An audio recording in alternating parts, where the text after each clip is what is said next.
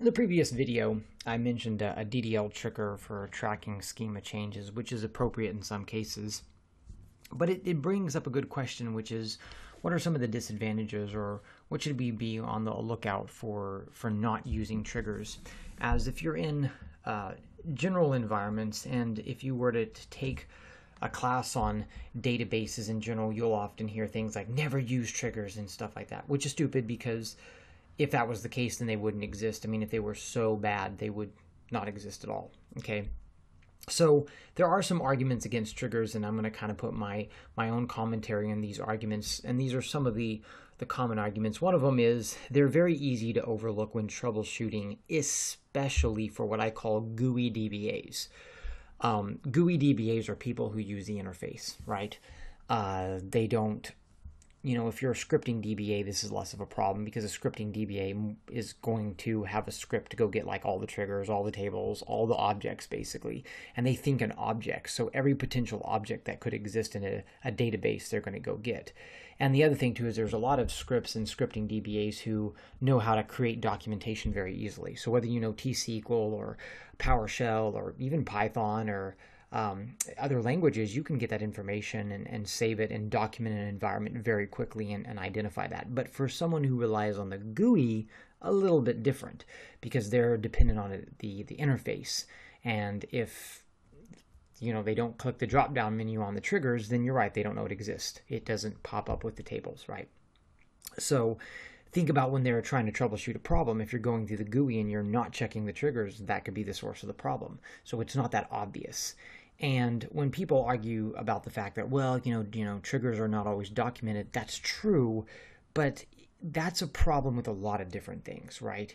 It's kind of like what I put up here about stored procedures and SQL injection. I mean, a good stored procedure will stop it, yes, but a bad stored procedure isn't going to stop it. And it's the same thing like when someone tells me, about oh well but the problem is you know it's easy to forget. Well but that's true with anything. I mean like you can forget all kinds of things. That's why we have documentation in the first place. So yes it's true that gui dbas are probably going to be tripping out more about uh, triggers. Scripting dbas less so.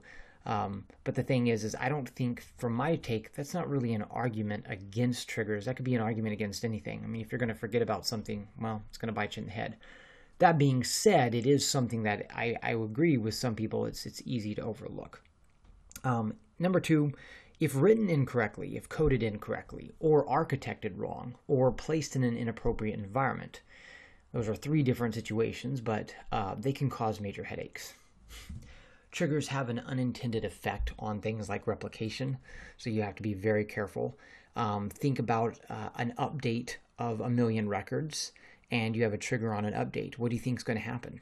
Okay, and this is going to get to my third point in a second. But the idea is that if, if it's written poorly or if it's architected wrong, in other words, if you're not capturing what you need or you're not thinking about, okay, but let's suppose I capture that, what could that potentially do? Um, or then placed in an inappropriate environment, yeah, it'll cause headaches. Uh, so, for instance, in the example uh, the previous example of creating the DDL trigger on uh, alter table, keep in mind that if we design it to where it's going to insert a record every time a table is altered, if we alter, um, you know, a table, let's say we have a table with a, let's say, you know, 500 columns, and if we alter 400 columns, or we alter that table 400 times, it's going to create 400 records, right? So it is adding some overhead, which brings me to my third point. Triggers do add OLTP overhead. Now, this is why I think I have less of a problem with triggers than most people. I'm very familiar with OLAP and OLTP environments, and I'm very comfortable with both environments. I've worked in a mixed environment pretty much my entire career. I have worked with a lot of DBAs though who've only worked in one or the other, and so OLAP DBAs tend to trip out over triggers a lot, and it's because it does add OLTP overhead, right? If again, if we go back to updating a million records, what do you think the effect of that is going to be? Right? It adds that OLTP overhead. So your database becomes more of a transactional database. Well, now think about how many people use triggers and run into trouble in OLAP environments and they don't realize that. So they haven't built their environment for that purpose and then they experience the effect of that.